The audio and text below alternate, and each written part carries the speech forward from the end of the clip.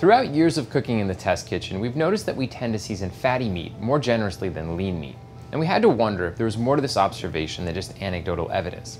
To find out if fattier meat really needs more salt in order to taste seasoned, we ran an experiment. We rounded up five common meats that range in fat content. We grabbed turkey breast, pork loin, strip steak, and both 90 and 80% lean ground beef. We then cooked the meat chopped it into fine pieces, and tossed 10 gram portions of each with increasing amounts of salt. We tested adding a tenth, a quarter, a half, three quarters, one, and one and a half percent salt by weight to samples of each meat.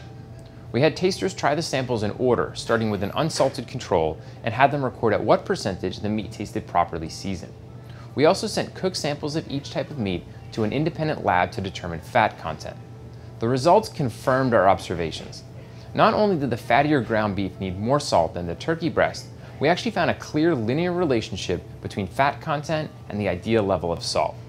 Tasters preferred the lean turkey breast, which was 0.7% fat, and the pork loin, which contained 2.6% fat, seasoned with half a percent salt by weight.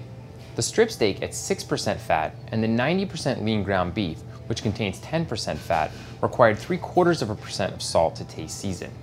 And finally, the 80% lean ground beef with 20% fat tasted seasoned to a majority of tasters only when it reached 1% salt by weight.